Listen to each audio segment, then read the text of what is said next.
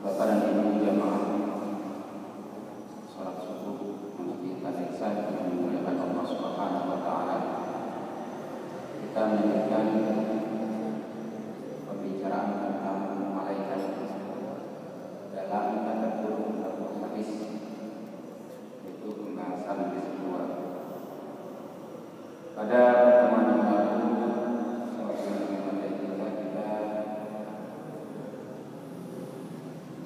membaca sebuah hadis tentang perjalanan roh manusia. Sebagian sudah kita baca dan kita baca kembali. Kita lanjutkan yaitu hadis dari Al-Bara bin Azib radhiyallahu taala. Beliau menceritakan kami pernah memiliki jenazah orang Ansar bersama Rasulullah SAW. Sampainya di kuburan dan menunggu yang mengenai Rasulullah Shallallahu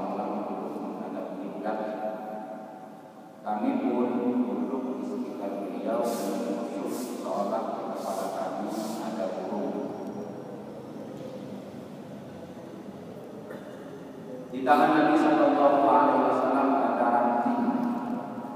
Beliau tusukkan ke tanah, kemudian beliau menghadap ke langit. Lalu beliau menunduk. Beliau ulang tiga kali, kemudian beliau bersabda,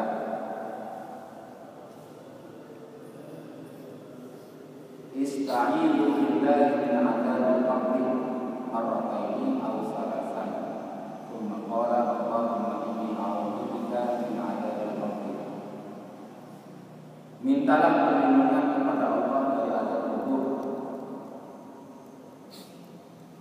Ucapan ini beliau ulangi dua atau tiga kali.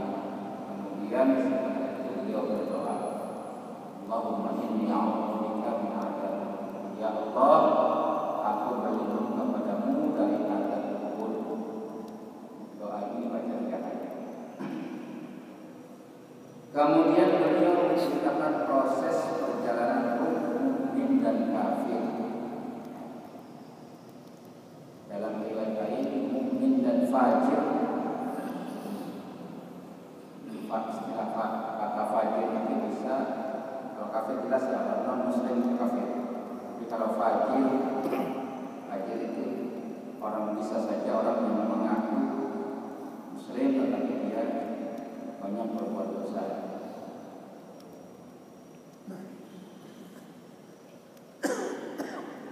Ini ucapan Rasulullah SAW. Beliau memulai memulai ceritanya. Sesungguhnya hamba yang beriman ketika hendak meninggalkan dunia dan menuju akhirat, turunlah malaikat.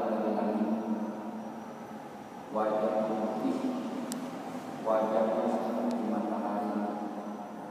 Mereka membawa kafan dari surga dan hanut atau minyak wangi dari surga.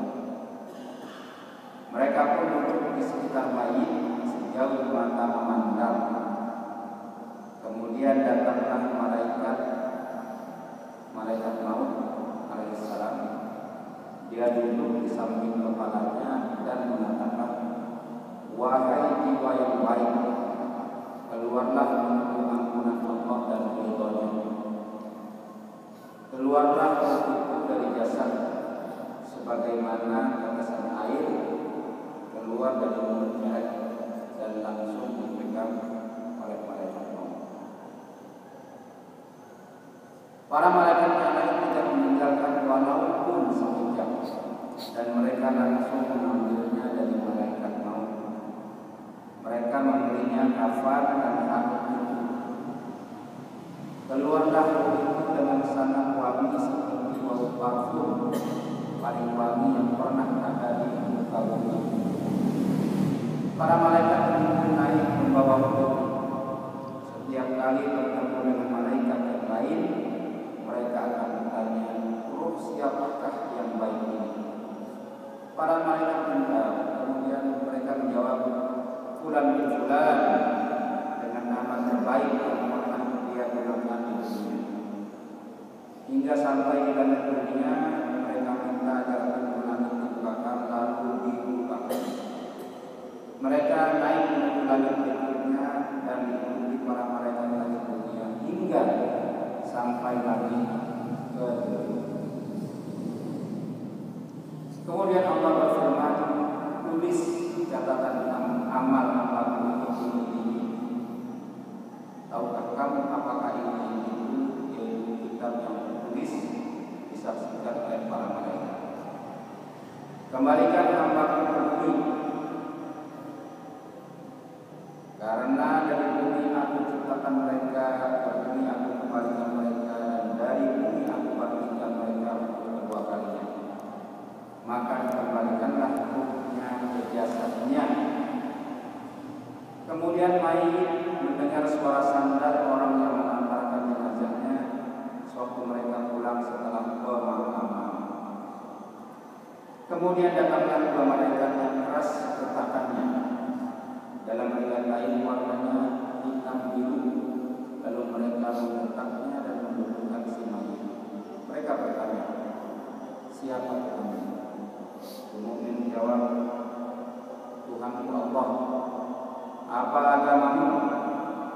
Agamamu Islam. Siapakah orang yang diutus di tengah kalian? Si mukmin menjawab, Ya Rasulullah Shallallahu Alaihi Wasallam. Malaikat bertanya lagi, bagaimana amalmu? Mungkin menjawab, saya membaca kitab Allah, saya mengenalinya dan membenarkannya. Kemudian Rasulullah memberikan penjelasan. Pertanyaan malaikat siapa Tuhanmu? Apa agamamu? Siapa nabimu? Ini adalah ujian terakhir yang akan diterima seorang mukmin. Allah memberikan ketentuan bagi mukmin untuk menjawabnya seperti firman-Nya Yusabbiqullahu alladziina aamanu bil qawli tsabiti fil hayati dunya wa fil akhirah. Allah menentukan iman orang-orang yang beriman dengan ucapan yang sungguh dalam kehidupan dunia dan di akhirat. Al-Quran surat Al-Kahfi ayat 27. Sehingga dia bisa menjawab Allah Tuhan Tuhan Allah Islam agama Nabi Muhammad Wasallam. Tiba-tiba ada suara dari atas hamba benar bentangkan pintu surga, beri pakaian surga, bukakan pintu surga bentuknya. Dia pun mendapatkan hanya surga dan wanginya surga dan ukurannya luaskan sejauh mata. Kemudian datanglah orang yang wajahnya sangat bagus, pakaiannya bagus, baunya wangi. Dia mengatakan kabar gembira dengan sesuatu yang menyenangkan, kabar gembira dengan ridha Allah dan surga yang penuh kenikmatan abadi. Inilah hal yang perlu lakukan. Si mayat dengan keheranan bertanya, semoga Allah juga memberi kabar gembira untuk anda. Siapakah anda? Wajah anda mendatangkan kebaikan. Orang yang berwajah bagus ini menjawab, saya adalah amal soleh. Kemudian dibukakan untuknya pintu surga dan pintu neraka. Ketika melihat neraka, sampaikan kepadanya, itulah tempat akan bermaksiat kepada Allah dan Allah gantikan kamu dengan tempat yang itu. Kemudian si mayit menoleh ke surga. Melihat dari surga, si mayit berdoa, Wahai Tuhanku, segerakanlah aku Islam, segerakanlah agar aku bisa berjumpa kembali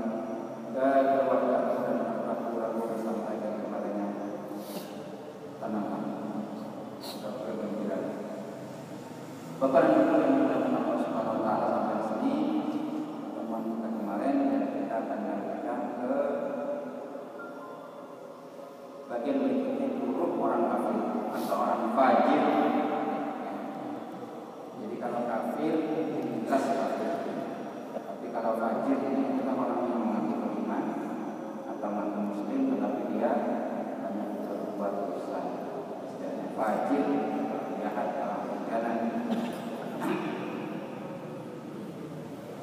Sementara hamba yang kafir fajir ketika hendak meninggalkan dunia dan di akhirat turunlah para malaikat dari langit yang bengis dan keras wajah hitam mereka membawa masuk masuk kain yang tidak nyaman digunakan masuk dari neraka. Mereka duduk di sekitar mayat sejauh mata memandang. Kemudian datanglah malaikat maut dan duduk di samping kepalanya. Dia memanggil wahai jiwa yang busuk keluarlah menuju muka Allah. Ruhnya ketakutan dan terpencar di seluruh ujung tubuhnya. Lalu malaikat maut menariknya sebagaimana gancu bercabang sebagaimana gancu bercabang banyak ditarik dari bol yang basah sehingga membuat putus pembuluh darah dan ruang tulang dan dan langsung dipegang malaikat maut.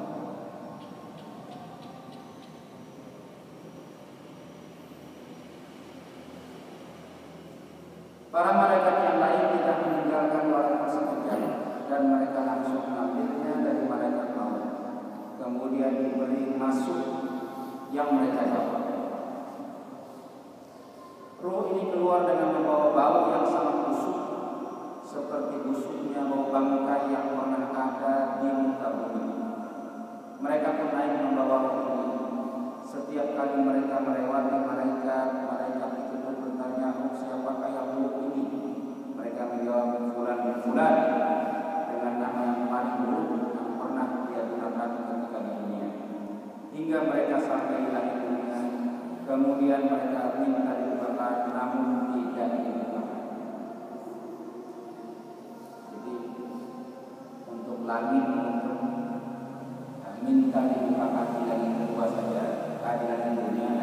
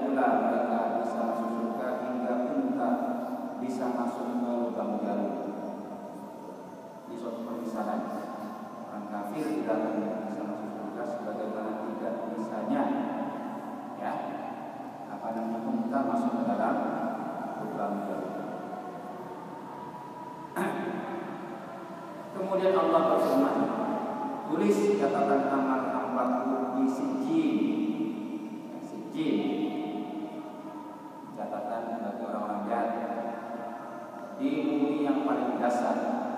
Kemudian dikatakan kembalikan hambaku ke bumi karena aku telah menjadikan bahwa dari bumi aku ciptakan mereka, ke bumi aku kembalikan mereka, dan dari bumi aku bangkitkan mereka untuk kedua kalinya. Kemudian dilempar hingga jatuh ke jasadnya. Dilempar menjelang masuk ke langit dunia, langit dunia kemudian tidak pintu langit tidak dibakar. Kemudian jasad ruhnya dilempar begitu saja hingga jatuh ke jasadnya. Kemudian Rasulullah Shallallahu Alaihi Wasallam membaca firman Allah, "Wa may yusyrik billahi fa'annama marra min as-sama'i fa tahtahu khairu aw tahwihi fi makanin sabil." Siapa sesuatu dengan Allah, maka adalah dia seolah-olah dari langit lalu disambar oleh burung, terbangkan angin ke tempat jauh. Surat Al-Hajj ayat 31. Bapak dan Ibu yang menggunakan Kemudian rohnya dikembalikan ke jasadnya hingga dia mendengar suara sandal orang yang menunggu jenazahnya ketika pulang meninggalkan kuburan. Kemudian datanglah dua malaikat gertakannya keras. Mereka pun menggertak si mayit dan mendudukkannya mereka bertanya siapa Tuhanmu si kafir menjawab ha ha saya tidak tahu apa agamamu ha ha saya tidak tahu siapa orang yang diutus di tengah kalian kafir tidak kuasa menyebut namanya. Lalu dia diberitahu namanya Muhammad. Si kafir hanya bisa mengatakan, ah, ah saya tidak tahu. Saya cuma mendengar orang-orang bilang seperti itu. Dia pun tetap lagi, kamu tidak tahu dan tidak mau tahu. Tiba-tiba ada suara dari atas, hamba dusta dan kata hamba dusta bentangkan untuknya neraka. Bukakan pintu neraka dia pun mendapatkan panasnya neraka dan racunnya neraka. Kuburnya disembunyikan hingga tulang-tulangnya berserakan lalu datanglah orang yang wajahnya sangat buruk berbaju jelek baunya seperti bangkai dia mengatakan kabar buruk untukmu. Inilah hari di mana buruk kamu dijanjikan. Si mayit kafir pun menjawab kabar buruk juga untuk kamu. Siapa kamu? Wajahnya mendatangkan keburukan. Orang menjawab saya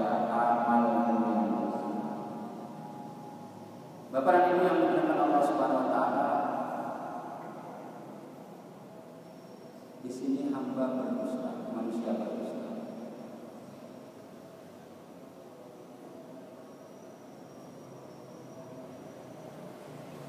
Perkataan hamba Rasulullah menyebutkan kata kata abdi bagi orang yang beriman yang bisa memberikan jawaban yang Allah berikan dukungan kepada mereka kepada amal saudara abdi hamba benar bagi orang kafir atau orang fajir jahat Allah katakan kada abdi hamba dusta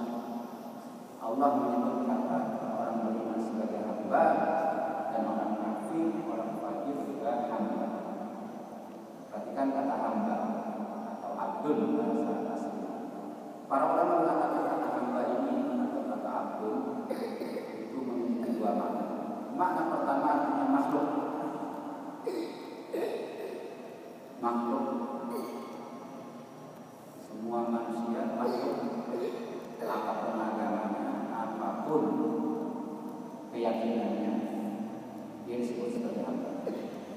Ini adalah bahasa ini yang digunakan Rasulullah SAW kemudian makna yang kedua abdul itu dikhususkan hamba-hamba Allah yang saleh Allah Subhanahu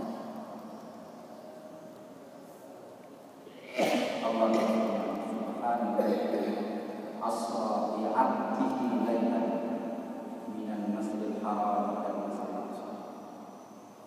Maha suci Allah yang telah menjalankan hambanya siapa? Nabi Muhammad sallallahu alaihi wasallam.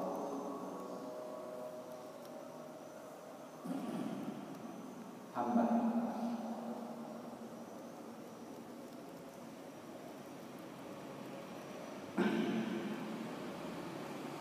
Dalam hadis qudsi Allah "Ana inda zanni 'abdi bi."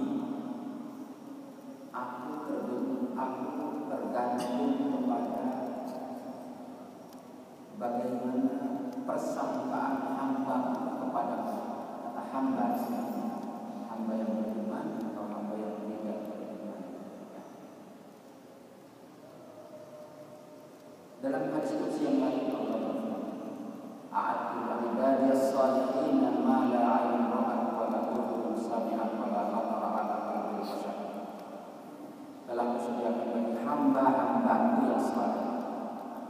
sesuatu yang tidak pernah terlihat oleh mata tidak pernah terdengar oleh telinga dan tidak pernah terbesit dalam pikiran manusia. Itu kata hamba yang kedua berdusta bayangkan hamba atau manusia yang jahat ini mereka tidak saja berdusta di dunia sampai di kubur pun mereka berdusta.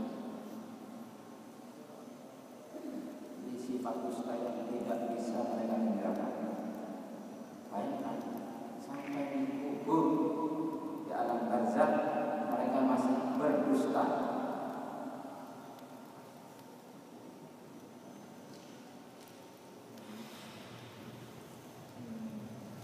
Jadi memang dusta ini sifat melekat keperawan dia.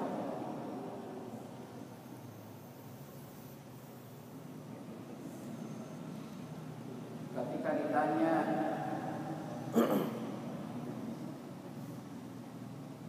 siapa orang yang diutus di tengah-tengah kalian orang kafir atau orang fajir mengatakan saya tidak tahu saya dulu hanya memang pernah dengar tapi saya tidak tahu persis didustakan oleh Allah Subhanahu wa taala dia dusta kalau kita kaitkan dengan ayat dalam Al-Quran ya, ayat dalam Al-Quran dalam surat Al-Quran Allah Subhanahu wa taala bertanya kepada para pemimpin alam yang nabi bukankah atau tidakkah telah datang kepada kalian orang yang memberikan peringatan Qalu bala mereka menjawab Nah telah datang kepada kami orang-orang yang memberikan peringatan Walakin kadzabna akan tetapi orang-orang yang memberikan peringatan sebab mereka para rasul Allah Subhanahu wa taala dan para penerus para dai akan tetapi kami mendustakan mereka kami tidak percaya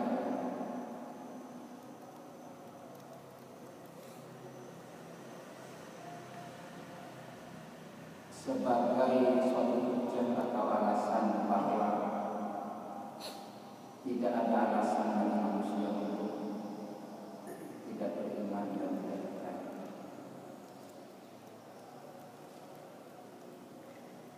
Bapak dan Ibu yang dimuliakan Allah Subhanahu wa taala.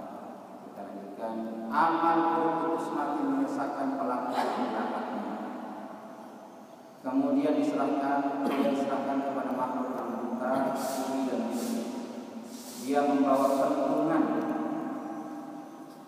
bahasa aslinya menyezabah pentungan.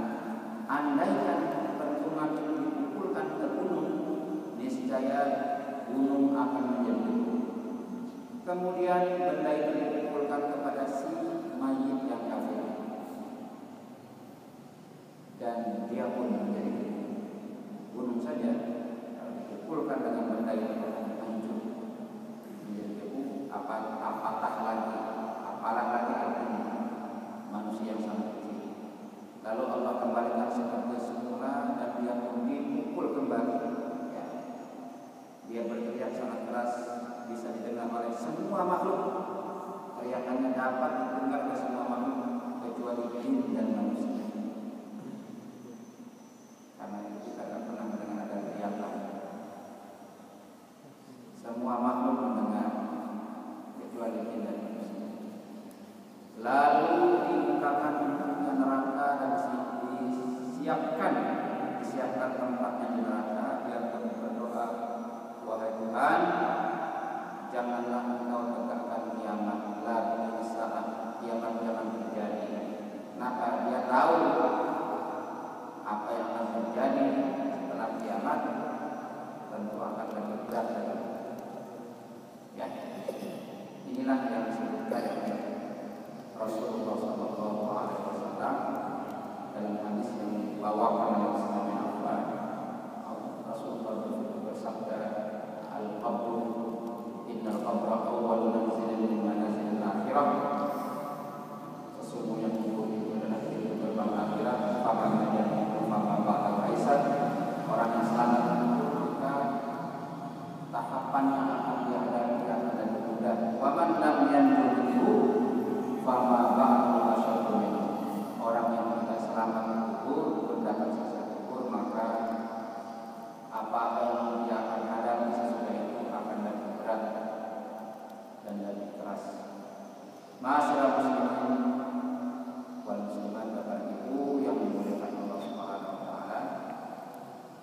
dari beberapa pelajaran kita dari saling islami yang disampaikan oleh para ulama. Dan kita ambil beberapa